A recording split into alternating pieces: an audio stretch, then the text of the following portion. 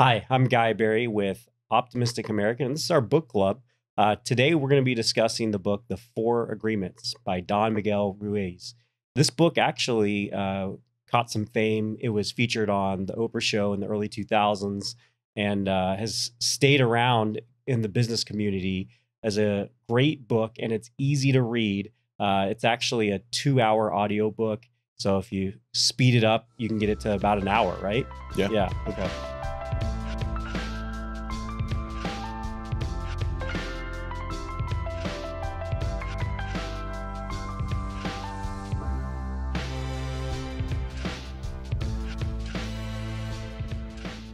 My guest today is Mike Bechtol. So, Mike, thanks for joining us. Yeah, thanks, guy. Happy to be here. Um, okay, so the Four Agreements. Um, this is a book that Don uh, Miguel Ruiz has studied the Toltec, um, which is a civil, ancient civilization from Mexico. Um, I believe it was around 700 AD uh, that this civilization existed. But they had a way of doing things, and he studied this, and then he's created a couple of books from it. Four Agreements is one of them and um, just overall, like, what is your overall assessment of the book before we dive into it and how you've used it? uh, Just how has it helped you in your life? Yeah, so I think either yourself or or uh, Dave Berg introduced it to me. Um, really easy read, so but resonated a ton with me in the way that I want to live my life. So I've I've loved it. I've read it countless times now. Right, it's become probably at least a once a month. Um, knowing it so well, again, you can do it on like two and a half speed, and it's a forty minute listen. Um, but yeah, I think it's been helpful in being better to myself, being better to my family, being better to colleagues and, and people that work with me and for me. Um, just overall, it's it's a great resource to go back to a lot. I mean, if you have a 20 minute commute to work, you're getting through the book in a week or two, just listening to it at normal speed. Oh, I yeah, like, easy. You know, like, so, um, what, what do you say about, okay, so there's people that have this like, uh, negative notion around maybe um, meditating or the like softer side of things and this book could be seen as a little meditative type book but um you know you don't strike me as somebody who's very into meditation so meditate. um so what do you think of that like because there might be people who are who start to get into it and go wow this is a little like hokey for me because it's very it is a very me- meditative type book yogi yoga book yeah, and I don't I don't meditate. Um, I I have a hard time with that always, and maybe I I think through things, but maybe you call that meditation. Um, you know, I've, uh, as I listened to it this week again, a couple times actually, it it brought me to like it does um, tie into a lot of other things we do in our life. So I don't know that it's like if you think about well, I like to do like strategic thinking, or I like to journal, or I like to meditate or yoga. There's principles that tie to all of that, right? Whether it's you know personal, religious, like your beliefs on politics, whatever it is, it can tie into the way this thinking is, which is why I think it's um, was so powerful for so many people. It wasn't like designed for one right specific group. Yeah, I agree. Okay, so let's get in the book. Um, it starts off with the domestication of the dream and the dream of the planet, and um, really, what this what this starts with is when you're born, you didn't choose the language that you started speaking. Your parents or the people around you, you know, started to train you on that, or the church you went to, or the community you were around. All these things started creating a community of beliefs that you bought into that became your dream that you at some point maybe felt like this isn't really who I am, but I'm being told by everybody this is how I'm supposed to be. And this first part really introduces the notion of okay, you're going to need the four agreements to get out of this dream. And in the book, um, this they they relate it to a brain fog that is over your brain, and um, the Toltec called it a mitote, which is a marketplace, which would be similar to like a marketplace where everybody speaks a different language and nobody can understand each other. It's a very loud Yeah. place with people speaking and nobody can understand each other. And then, um, and then they speak in the book that uh, India has a name for this, which is a, a Maya, which is an illusion, and the illusion is around I am. So I have an illusion about who I am, and um, so talk to me about this notion that we're living in a dream um, created by everybody else. Yeah. Um, Yeah, I, I like that. I mean, the way he starts it and um, how he, like, he's talking in like a third person, how someone comes out of it.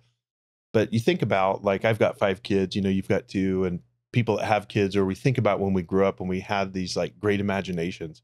Um, it, the example that I always go back to is like driving a car on a wall, right? You drive it on the wall, you drive it on the roof. At some point, you're told no, right? Well, that's not how it works. Don't do that. And you either keep doing it or you're you believe that you don't drive cars on walls, right? And cars aren't meant to drive on ceilings. And it breaks that just belief of, you know, maybe maybe not truth, but just that this idea of being creative and and out there. And um, so we create these rules, and we don't create them. I, I guess we do. Our mind creates them, but it goes into that mitote or that fog because we can't see through. We can't see past that to what is actually really truth because we've been either brought up by parents culture, right? Mhm. I mean, think about um, like I lived in Portugal for two years. They do things a lot different there.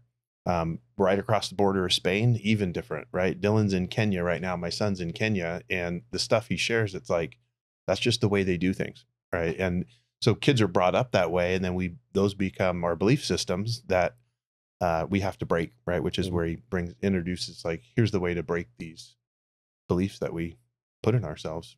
well, and you, and you think about it, like children when they're playing and they're being imaginative, smiles on their face, happy, and then go walk into an average company, not not the company we work at, because Yeah. we we see a lot of smiles on the people We in our company, yeah. but it, average company you walk into, not many people are smiling. They're, they're- they're very serious, right? So when when children are asked to like draw, what does an adult look like? They typically don't draw them with a smile on their face, right? Yeah. Because they're they're used to seeing them working and walking around, and they've lost a sense of that innocence. And that's over all these years and time of being told what to do and how to how to act, how to be. Like think if you were at your like the example you just gave. Think if you went to uh, your your work and you started just taking a toy car and driving it around on the walls and the ceiling, uh, people would look at you like you're crazy. Yeah. They'd be like, "What are you doing?" Yeah.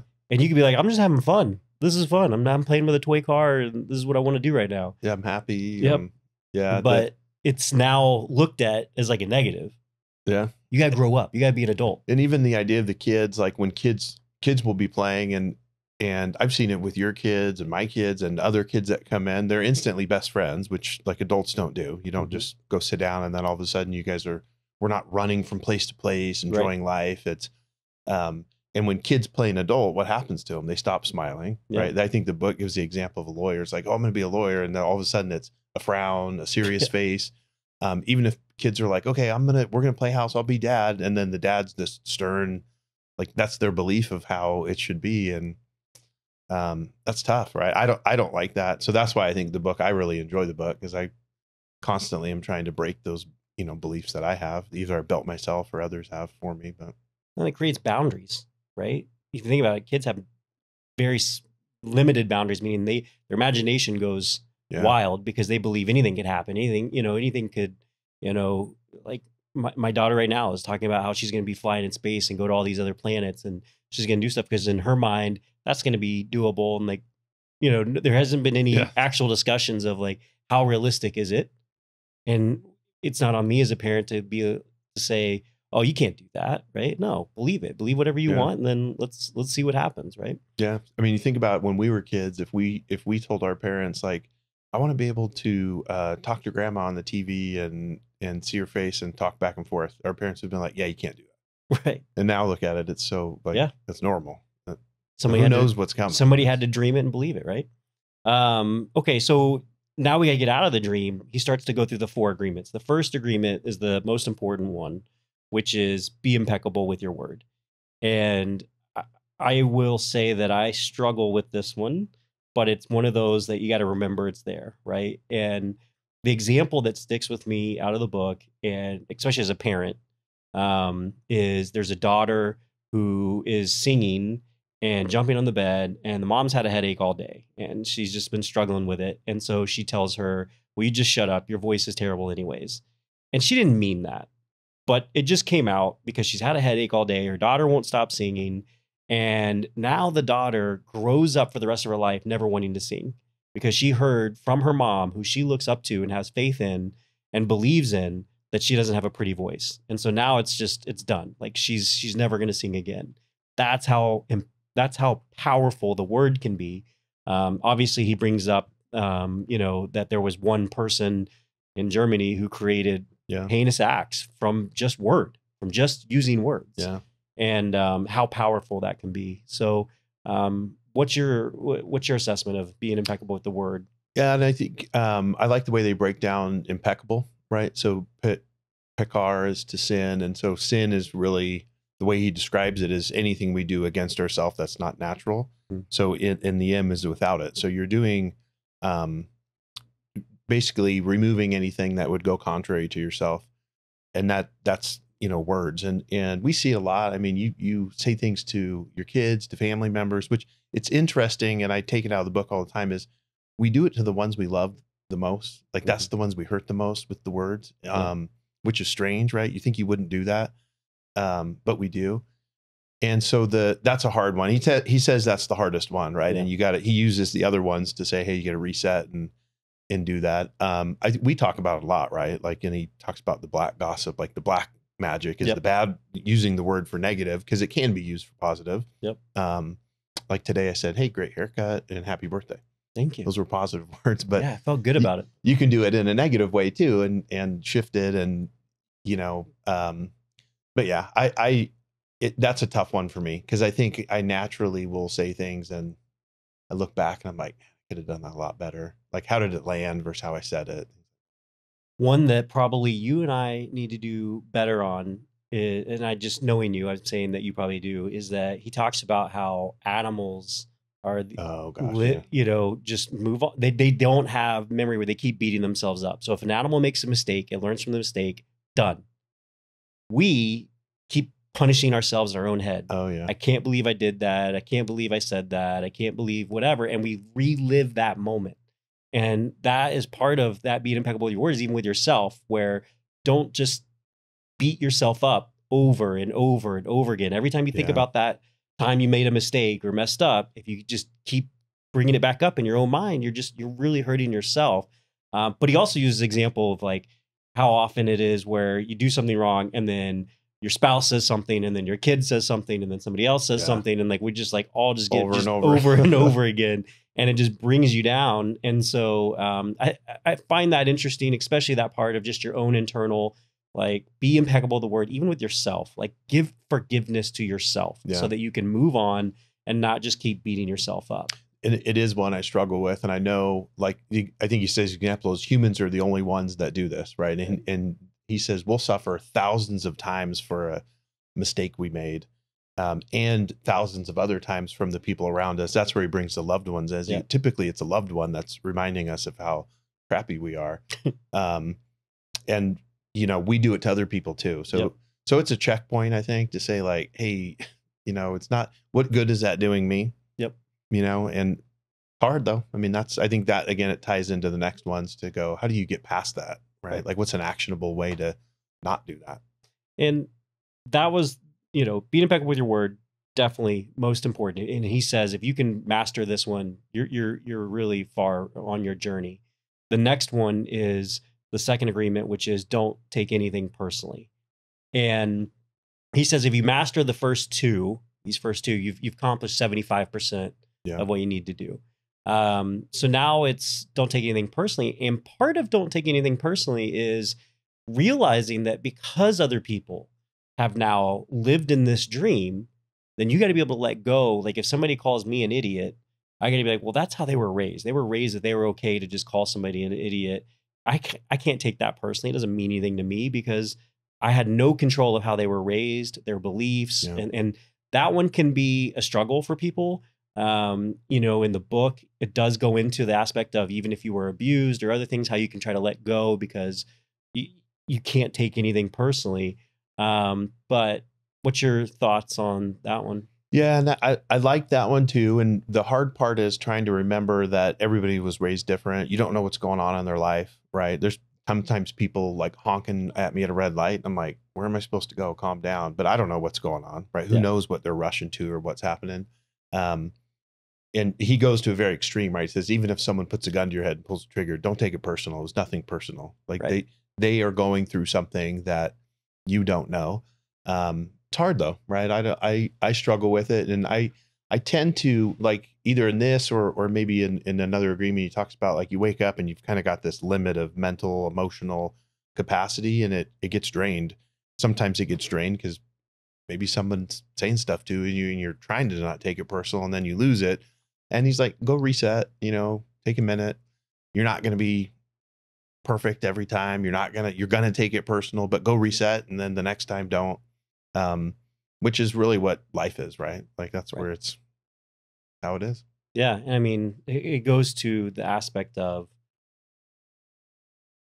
it's if somebody does something to you, right? Whether it's physical harm, emotional harm, um, that if it's if you take it personally, you're actually somewhat selfish. You're saying oh yeah this is about me, this is about myself, versus no, this is just about them. This is about who they are and has nothing to do with me. I don't need to. Ma- I'm I'm actually the one making it about me by letting it affect me by having a negative. I'm being selfish, saying thinking that the world revolves around me and Yeah. these things happening to me are because of me.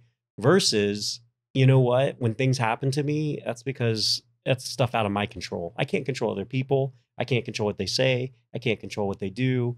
Um, and you gotta be able to let go. Yeah. And that's a challenge. Yeah, I, I like that part where he said uh, it's a selfish act. You know, to take it personal, it becomes selfish because it's like the world revolves around me, and it's it's not that way, right? No. Yeah. So then he moves to the third agreement, which is don't make assumptions, and um, you know uses an example of even being at a shopping. You know, you're out shopping, you look over, and maybe I see a woman who smiles at me, and I think in my head, man, then she's going to want to go on a date with me. She's Mhm. going to want to go do this, and I go down this whole path based off of an assumption, and I've just lived this whole dream all in an assumption. And um, you know, in the world of social media, if we just took the three agreements we just talked about Yeah. Between being impeccable with your word, don't take anything personally, and now assumptions, there's a lot of assumptions happening with people in social media right now when Yeah. it's, oh, look at how happy they are. Look at all the posts they're, you know, this is happening, that's happening. Lots of assumptions. But um, what uh, sticks with you out of don't make assumptions? Yeah, I mean, I think assuming is you, you never know someone's mindset. You never know what they're thinking or going through, and so uh, we we do it very naturally. Um, and I I like the point you said. You know, like the husband comes home from work and maybe the wife's mad, or the or or vice versa, right? A spouse comes home and the other spouse is mad, and you just don't know why, and you can assume and um, you know, like maybe you go do the dishes and you think that fixed the problem, but there's something else going on. So he says asking questions to get clarity is always a good thing Yep. because you're never going to assume you know the answer, which also goes back to being very selfish. Mhm. Like, I'm going to assume I know it. And that's a selfish thing. Like, I don't know, just ask, like, well, what's going on? Because Right. maybe it's not about the dishes, right? Maybe Yeah. it's not about the, there's that video about the nail in the head. You remember that one? Like, Mhm. it's not about the nail. There's other things that are Yeah. going on. So don't, don't assume. Yeah, and and and then the part that um, I've heard a couple times when I go back and and re-listen to this book, but I forget is also don't make assumptions in ourselves, right? So Yeah. sometimes we actually go, "Oh, I'm going to make this decision because, like, I know this is right." Okay, stop. Ask the questions of yourself of why do you know this is right?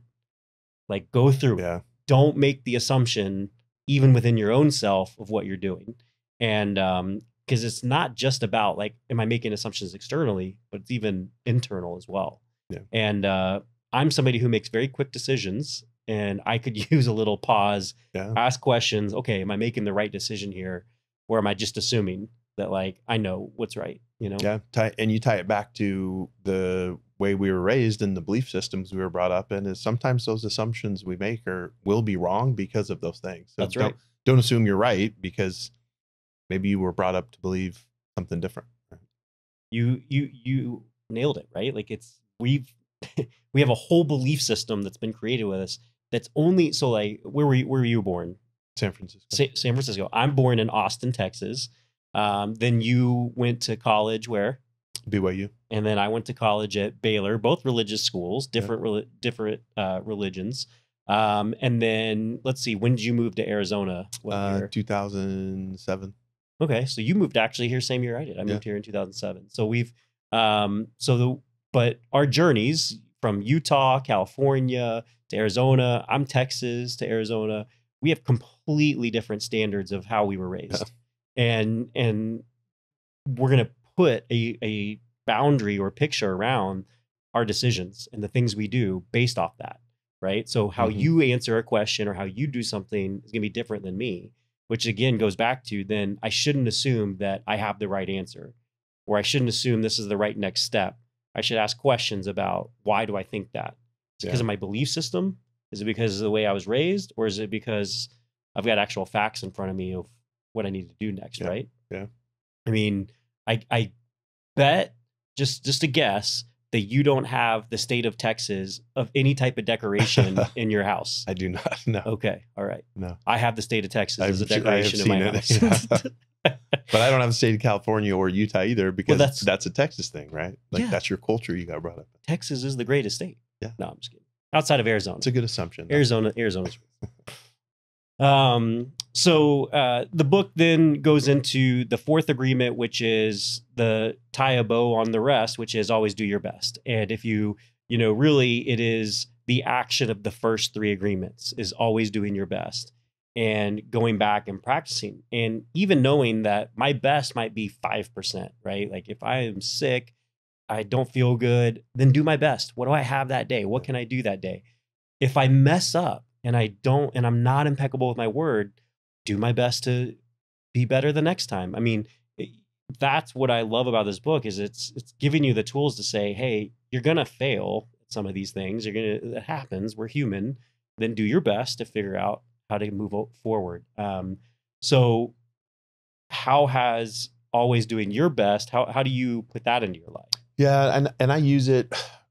You know, as we're talking, I think as I read it this week, it, it was more self reflection. I use it outwardly a lot. Like I tell people, like, um, you know, people are like, "Oh, you always have to give hundred percent." Well, you always don't have it, right? Like, but you give hundred percent of what you have that day. So if you know you have five percent, give the five percent. Then don't sell it short. Give three percent. Um, and I tell my team that a lot here. I'll say, you know, if, if you're coming in and whatever's going on, there's distractions from family, from outside, from you know the Warriors lost on Wednesday night, whatever it is, um, and and I've got seventy percent to give. Well, I better give seventy percent, right? Don't don't give sixty percent and and mail it in. Um, but if you do, and that's where I think he's talking about at this point, he says, you know, they husband and wife wake up, they have a big argument at breakfast, and then he's exhausted.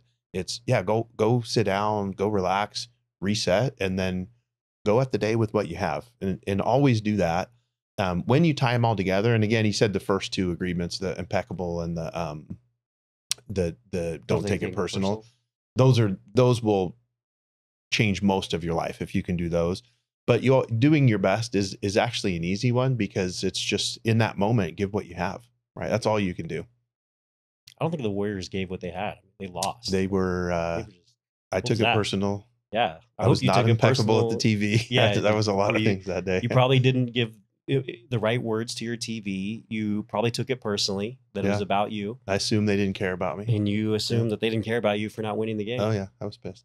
All right, they're out. I got over it. though. Okay, I'm glad you got over it. The um, book then wraps up with just the Toltec path to freedom and the new dream, which is really about how do you move forward and live now that you're working with these four agreements. And then it wraps up with a prayer at the end of the book, which um, really actually I've used it. It's about eight minutes. Great little like as you're coming into the office, if you have a rough start to your morning or whatever, Yeah. you can do this uh, quick little prayer uh, piece where it just it just talks about breathing and listening to your uh, lungs as you're as you're breathing. Um, so it's almost meditative, but Yeah. um, you know, this book. Here's what I say: I, I've recommended it to a lot of people. Anybody who uh, I've recommended to who's read it has enjoyed it, has applied some piece to it in their life.